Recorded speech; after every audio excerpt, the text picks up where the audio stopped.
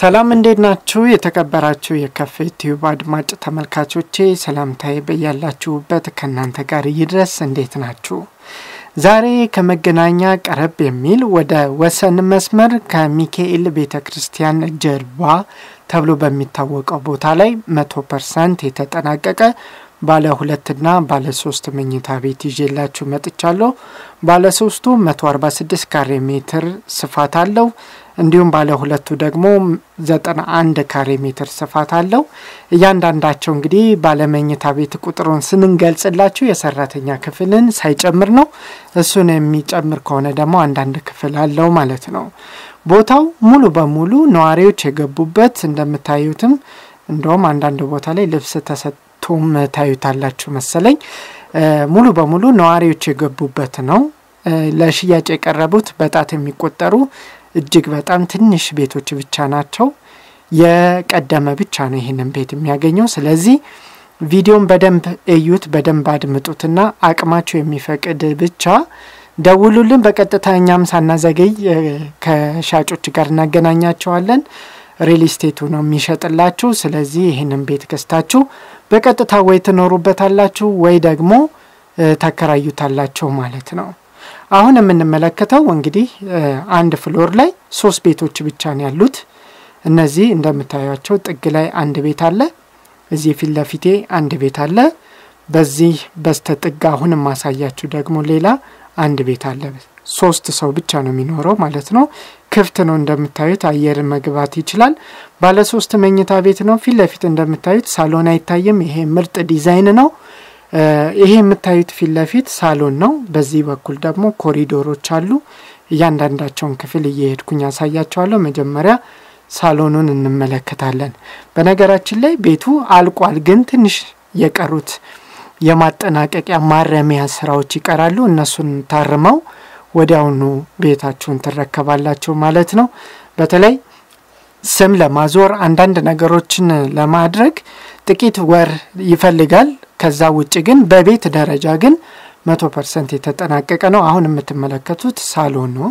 ሳሎኑ ሁለት በር አለው። አሁን በአንደኛው በር ከሳሎኑ እንወጣና ወደ ዋናው መኝታ ቤት እንሄዳለን ማለት ነው። ይሄ የምትመለከቱት ዋናው መኝታ ቤት ነው። የራሱ በረንዳ አለው። እንደዚሁም የራሱ መልበሻ ቁምሳጥን አለው። ቁምሳጥኑ ለብቻው ነው ተገንጥሎ ነው ያለው። እንደ መልበሻ ክፍልም ቦታዋን መጠቀም ይቻላል። አጠቃላይ frame የተሰራለት ነው። gypsum board ኡ አልቋል። መብራት ብቻ ማስገባት ነው የቀረው። spot light ሶኬቶች ይገቡለታል ማለት ነው። እንግዲህ በስተ ቀኝ በኩል ደግሞ ዋናው ቁም ሳጥን አለ። እዚህ ቁም ሳጥን ጋር እንደ መልበሻ ክፍሉን መጠቀም ትችላላችሁ፣ ነችን space ማለት ነው። ይሄ የዋናው መኝታ ቤት መታጠቢያ ከነ ገንዳው ነው ማለት ነው ያለው። በቂ የተፈጥሮ ብርሃን የሚገባበት ቦታ ነው። ማሞቂያ ተገጥሞለታል። እንደምታዩት ቀጥታ እዚህ ተጠቅማችሁ እዚሁ ልብስ ለብሳችሁ መውጣት ብቻ ነው የሚጠበቅባችሁ። የጫማም የሁሉም ነገር የተሟላለት ነው። ሰፊ ቦርድ ነው የተገጠመለት። ይህ ኮሪደር ነው ፊት ለፊት የምታዩት። በኮሪደሩ ስናልፍ የምንመለከተው ሌላው ደግሞ ሁለተኛው መኝታ ቤት ነው። እዚህ ሁለተኛው መኝታ ቤትም የራሱ ቁም ሳጥን አለው። ቁም ሳጥኑ ተገጥሟል። አካባቢው እንደምታዩት እንደዚህ ውብ ሰፈር ነው። በጣም ቆንጆ ነው። በጥሩ finishing የተጠናቀቀ ቤት ነው። በሩም እንደምታዩት አዲስ ነው። ይህን ይመስላል። አሁንም እንቀጥላለን። ባለ ሶስተኛውን ቤትን መኝታ ቤት እንመለከታለን። ሶስተኛው መኝታ ቤት ደግሞ ይህንን ይመስላል። ይህም የራሱ ቁም ሳጥን አለው። እንደዚሁም የራሱ መስኮት አለው። አካባቢው ይሄ ነው እንግዲህ አጠቃላይ ምን እንደሚመስል ለማየት ከፈለጋችሁ ይህንን ይመስላል። kitchen ኑን እንመለከታለን። kitchen ኑ ሰፊ kitchen ያለው። ኮሪደሩ እንደምታዩት ተፈጥሮ ብርሃን በደንብ የሚያገኝ ነው። ይሄ የሁለቱ መኝታ ቤቶች መታጠቢያ ክፍላቸው ነው። እንደምታዩት በቂ ብርሃንም እንደዚሁም አየር የሚገባበት ቦታ ነው ያለው። ብርሃንም እንደዚሁ በደንብ የሚገባበት ነው። አሁን የምንመለከተው ደግሞ ኪችን ይሆናል። የማብሰያ ክፍሉ ነው።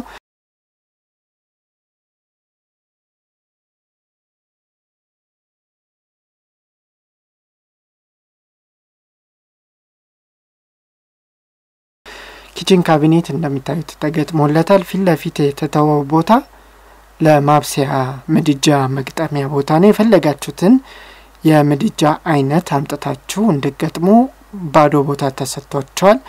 ይሄ ደግሞ ምጣድና ፍሪጅ የምታስቀምጡበት ቦታ ነው።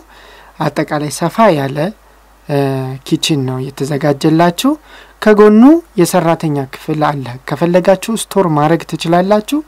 ከፈለጋችሁ አራተኛ መኝታ ቤትም ማድረግ ትችላላችሁ።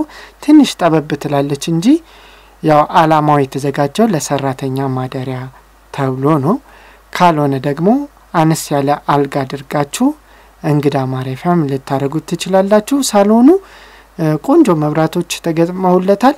የቀሩት መሀል ላይ አንድ ተንጠልጣይ መብራትና እንደዚሁም ደግሞ spot light የሚባሉት እነዚህ ተቀባሪ መብራቶች ነው የሚደረጉት። እንደዚሁም ጫፍ ጫፍ ላይ የቻክ ስራ የሚሰራለት ይሆናል። ከዛ ውጭ ግን ሙሉ በሙሉ ያለቀ ነው።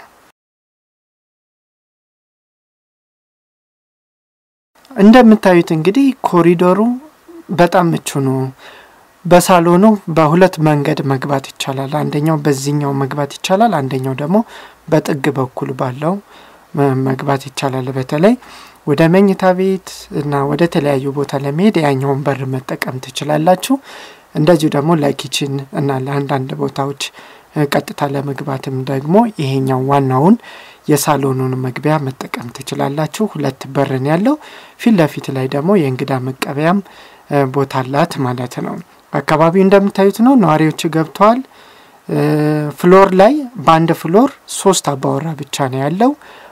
እንደዚሁ share የምታደርጉት ብዙ ነገር የላችሁም፣ ለየብቻ ነው። በተለይ መኝታ ቤት፣ kitchen እና ሌሎች ነገሮች በፍጹም በግድግዳ አትገናኙም። በግድግዳ የምትገናኙት በሳሎን ብቻ ነው የሚሆነው ማለት ነው። ሌላው አትገናኙበትም። ነዋሪዎች ገብቶበታል። ወዲያውኑ እንትን ማለት ትችላላችሁ። ቀጥሎ የምንመለከተው ደግሞ 91 ካሬ ሜትር ስፋት ያለው ባለ ሁለት መኝታ ቤት ነው የሰራተኛ ክፍልን ሳይጨምር እሱን እንመለከታለን። በዚህ floor ላይም ሶስት አባወራዎች ብቻ ናቸው የሚኖሩት እንደምታዩት ጥግና ጥግ እንዲሁም መሀል ላይ ማለት ነው። አሁን መሀል ላይ ያለውን ባለ ሁለት መኝታ ቤት ነው የምንመለከተው። እንደገባን ወይ store የምታደርጉት አሊያም ለሰራተኛ ማደሪያ የምታደርጉት ክፍል አለላችሁ። ይህንን ክፍል ለሁለቱም የማትጠቀሙት ከሆነ በተለይ ልጆች ያላችሁ እንደ ማንበቢያ እንደ ቤተ መጻሕፍት ልትጠቀሙት ትችላላችሁ። ፊት ለፊት ስትሄዱ እንግዲህ በትንሽ ደበቅ ያለ ነው ሳሎኑ፣ ፊት ለፊት አይታይም ማለት ነው። በዚህ በኩል ደግሞ kitchen አለ። ሳሎኑ የራሱ በረንዳ አለው። በስተቀኝ በኩል ደግሞ መኝታ ቤቶቹ አሉ፣ መታጠቢያ ክፍሎች አሉ። በዲዛይን ከቅድሙ ለየት ያለ ነው ይሄኛው። በጣም ቆንጆ የሚባል አሰራር ነው ያለው። ይሄኛው በእርግጥም እንደምታዩት ትንሽ ጠበብ ያለች ሳሎን አለ። በተለይ ጥቂት ቤተሰብ ላለው ሰው በጣም የሚመከር ነው። እንደምታዩት የራሱ በረንዳ አለው። አካባቢው እንደምታዩት ነዋሪዎች በብዛት የመኖሪያ መንደር ነው። ዙሪያውን ሀይዌ ያለው ለትራንስፖርት በጣም ምቹ የሆነ ቦታ ላይ ነው ያለው። ብታከራዩትም ይህንን ታሳቢ ተደርጎ ጥሩ የሚከራይ ነው። እንደምታዩት ሳሎኑ ጅብሰም ቻክ ተሰርቶ ከዛ በላይም ቀለም ተቀብቶ በአማረ ሁኔታ እንግዲህ በጥሩ ሁኔታ ተሰርቷል ማለት ይቻላል። የቀሩት ትንሽ እንትኖች ነው የመብራት ስራዎች ናቸው የሰሩት።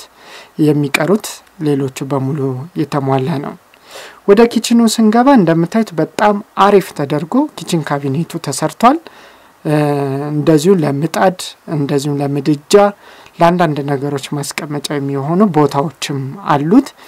ይሄ ክፍት ቦታው የምታዩት በሁለት በኩል ይሄኛው የማጠቢያ sink የምታስቀምጡበት ነው።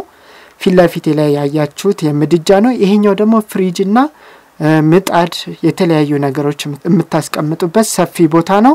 እዚህ ጋርም laundry ም ማስቀመጥ ትችላላችሁ። ምናልባት kitchen ውስጥ ከደበራችሁ store ያልኳችሁ የመጀመሪያው ስንገባ ያለው ክፍል ውስጥ ማድረግ ትችላላችሁ። ካልሆነ ግን እዚሁ ማድረግ ትችላላችሁ። ቅልብጭ ያለች ቆንጆ kitchen ናት። ቀጥሎ የምንመለከታቸው ሁለቱ መኝታ ቤቶች ናቸው። ሁለቱ መኝታ ቤቶች የጋራ አንድ መታጠቢያ ክፍል አላቸው።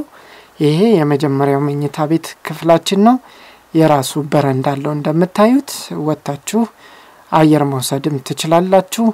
እንደዚሁ ደግሞ መጽሐፍም ለማንበብ ለአንዳንድ ነገሮችም ማየት ትችላላችሁ። እንደ አካባቢውን ያው ለትራንስፖርት ምቹ ነው ያልኳችሁ ይሄ ነው።